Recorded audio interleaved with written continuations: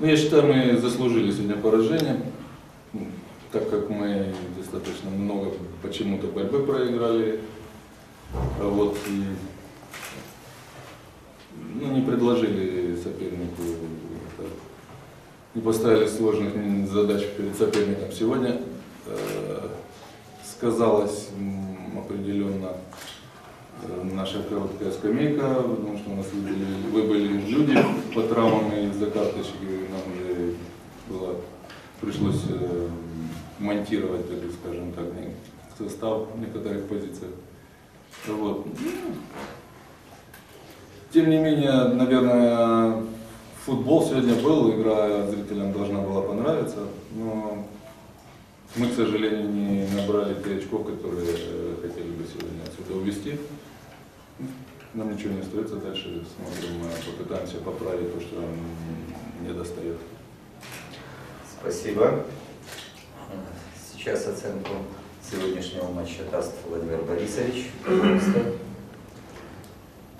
Ну, Обыграть «Динамо», Минск, вот, в нашем положении ситуации, я считаю, это большое дело, очень приятно. Ну и в то же время я считаю, что мы одержали ну, заслуженную победу. Вот, забили два мяча. Еще у нас были моменты забить. Немножко поправили ситуацию свою, в которой находились, но ни в коем случае эта победа, она должна придать нам каких-то сил дополнительных, и психологию футболистов, потому что я им говорил перед игрой, что играть можно и нужно со всеми, Израиль тоже там Динамо, БП, вот, со всеми нужно. Как оно получится, это уже другой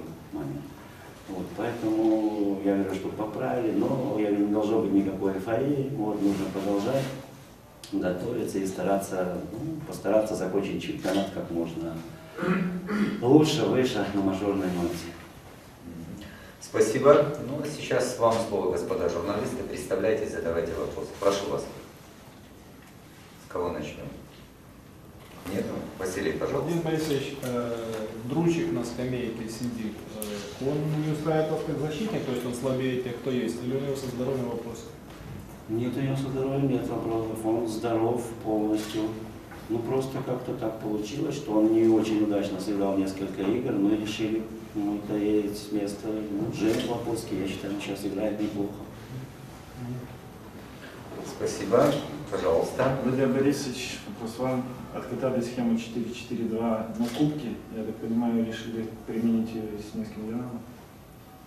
Да, долго думали перед э, Славией, как сыграть, но ввиду того, что как бы у Славии немножко там позиция центральных защитников, ну решили сыграть в два нападающих, она как бы и получилась, эта схема, поэтому ну решили ничего не менять и попробовать сыграть с Динамо. Так. Просто адресуя к вам, когда-то вы приходили в 2004 мы тоже такую же схему применили, и тоже команда пошла. Так. Нет, без всяких каких-то там мыслей, просто решили так сыграть. Еще вопросы? Олег Валерьевич, наверное, вопрос будет. Олег Валерьевич, вы здесь играли, помните эти матчи? Я помню, что я был в Бресте, но с кем мы по игре игру я уже не вспоминаю. Не могу вспомнить. Это юношеская сборная, наверное, вот. Нет. Днепр, Днепропетровск, Динамо. Динамо Минск. Игра перенесенная сюда. Да, уже не осталось. Юрий Топченко 11 метров не забил. Где какие? Сколько это было? Лет 20 назад? Ну да, давненько это. Больше. Я, у меня есть дома фотографии с, э, с Брестской крепости. Поэтому там Ясно. Еще вопросы? Пожалуйста, Олег. Владимир Борисович, э, ваш глава правления назначен депутатом, как вы это восприняли в команде? Вроде как нормально. Не было у нас как бы разговоров на эту тему. Мы футболом занимаемся, руководство занимается командой. За кого голосовали сейчас? Василий, пожалуйста.